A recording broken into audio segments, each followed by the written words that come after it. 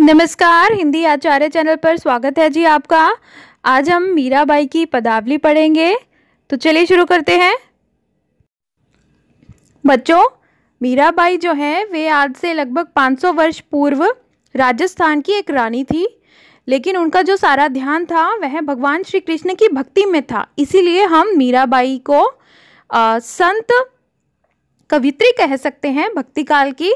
तो चलिए उनकी काव्य रचनाएँ पढ़ते हैं हम। बसो मेरे नयनन में नंदलाल। मीरा कहती हैं कि, हे नंदलाल, हे नंद के बेटे, आप मेरे नैनों में आके बस जाओ। मोहन मूरत, सांवरी सूरत, नैना बने विशाल। मीरा कहती हैं कि, आपकी जो मूरत है, वह मोहन है, यानी कि हम, हमें अपनी तरफ़ आकर्षित करती है। और सांवरी सूरत आपका जो चेहरा है, वह सांवला है। सब जानते हैं श्री कृष्ण का रंग सांवला था। और नैना बने विशाल, आपकी जो आँखें हैं, वह बड़ी बड़ी हैं। मोर मुकुट आपने मोर का मुकुट पहना हुआ है, धारण किया हुआ है और मकराकृत कुंडल आपने जो बालियाँ हैं गोल गोल कुंडल हैं, जो आपके, वह मछली के आकार के हैं। और अरुण तिलक दिए भाला, आपने लाल रंग का जो तिलक है, उसे अपने माथे पर लगाया हुआ है। अधर सुधारस मुरली राजती, आपके अधर पर, यानी कि आपके होठों पर, सुधा का रस, सुधा यानी कि अमृत, और रस, सुधा यानी कि अमृत का जो रस है, वह मुरली को कहा, मीरा ने। मुरली यानी कि बांसुरी। बांसुरी जो है, उसमें से जो ध्वनि निकलती थी श्री कृष्ण जब बांसुरी बजाते थे, सब लोग सम्मोहित हो जाते थे।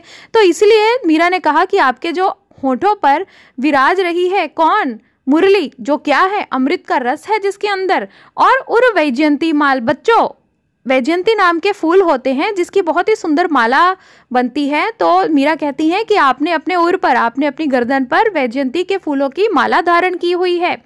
और क्षुद्र घंटिका कटी तट शोभित, आपने छोटी घंटी जो है, वह अपनी कटी पर, यानी कि अपनी अपनी कमर पर बाँध रखी है। वह शोभा दे रही है, बहुत सुंदर लग रही है वहाँ पर। और नूपुर शब्द रसाल, आपके जो, आपने जो पैरों में नूपुर बाँध रखे हैं, झांझर जो बाँध रखी है, उसका भी शब्द बहुत ही सुंदर हो रहा है। मीरा प्रभु संतन सुखदाई। मीरा जी कहती हैं कि, हे प्रभु, हे परमात्मा, आप संतों के लिए तो सुखदाई हो, यानी कि जो परमात्मा के भक्त हैं, आप उनको सुख देते हो।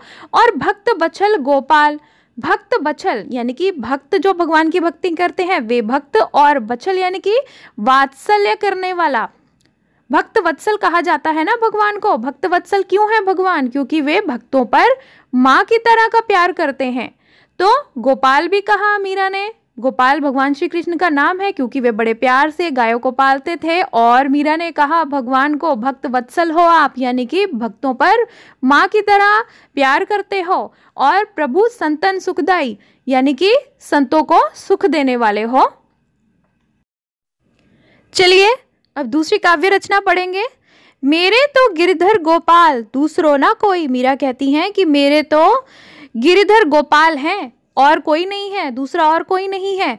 बच्चों देखो, गोपाल का अर्थ हमने समझ लिया। अब गिरधर का अर्थ हम समझते हैं।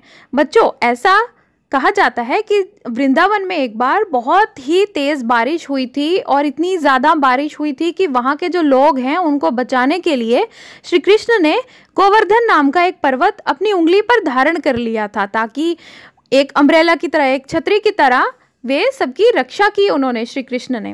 तो तब से उनका एक नाम गिरिधारी या गिरधर पड़ गया, क्योंकि उन्होंने गिरी को धरा था, गिरी यानी कि पहाड़। गिरी को उन्होंने धरा था उठाया था, इसीलिए उनका एक नाम गिरिधर पड़ गया था। और किस पर्वत को उठाया था उन्होंने? उस पर्वत का नाम गोवर्धन पर्वत था। तो मीरा कहती हैं कि मेरे तो केवल गिरिधर गोपाल हैं और कोई नहीं है। जाके सिर मोर मुकुट, मेरो पति सोई। मीरा कहती हैं कि जिसके सिर पर मोर का मुकुट है, मेरा पति वही है। यानी कि हम सब जानते हैं ना कि श्री कृष्ण मोर का मुकुट धारण किए रहते थे। तो वे कहती हैं कि मोर का मुकुट धारण करने वाला ही मेरा पति है। तात मात भ्रात बंधु आपनो ना कोई मेरा ना तो कोई पिता है ना कोई माता है ना कोई भाई है ना कोई रिश्तेदार है मेरा और कोई नहीं है केवल श्री कृष्ण है चाड़ दई कुल की कहानी कहा करे कोई मीरा कहती है कि अब तो मैंने कुल की मर्यादा छोड़ दी कहा करे कोई कि अब कोई क्या कर सकता है संतन डिग बैठ बैठ लोक लाज खोई मीरा कहती हैं कि मैंने तो संतों के साथ बैठ बैठ कर लोक लाज खो दी है, लोगों की शर्म खो दी है। मुझे अब किसी से कोई फ़र्क नहीं पड़ता। मुझे तो केवल और केवल भक्ति करनी है। आंसुअन जल सींच सींच प्रेम बेल बोई। मीरा कहती हैं कि मैंने अपने आंसुओं के जल से सींचा है। किसको? प्रेम नाम की बेल को मैंने अपने आंसुओं से सींचा है। बच्चों, जब कोई भक्त भक्ति करता है ना परमात्मा के साथ, तब उसे बहुत रोना आता है। तो यह जो, ये जो प्रेम के आँसू हैं, ये जो भक्ति के आँसू हैं, मीरा, उनके बारे में बात कर रही है कि इन आंसुओं से उसने प्रेम की बेल को सींचा है। और अब तो बेल फैल गई, आनंद फल होई। मीरा कहती हैं कि अब तो ये जो मेरी भक्ति रूपी बेल है, यह फैल गई है, यह बहुत अच्छी बड़ी हो गई है और इसमें फल लगा है। कौन सा फल आनंद रूपी फल लगा है? यानी कि मुझे भक्ति करने से बहुत आनंद मिलता है, मीरा यह कहना चाहती है। भगत देख राज़ी भई, जगत देख रोई मीरा कहती है कि भक्तों को देखकर तो मैं राज़ी होती हूँ, यानी कि खुश होती हूँ मैं भक्तों को देखकर। और दुनियावी लोगों को देखकर क्या होता है? मुझे दुख होता है कि ये सब संसार में पड़े हुए हैं, इनकी मुक्ति कैसे होगी? दासी मीरा लाल गिरधर तारो अब मोही। मीरा कहती हैं कि, हे गिरधर, मैं आपकी दासी हूँ, मैं आपकी सेविका हूँ। आप मुझे इस दुनिया से अब तार दीजिए, यानी कि मुझे अब मुक्त कर दीजिए इस दुनिया से।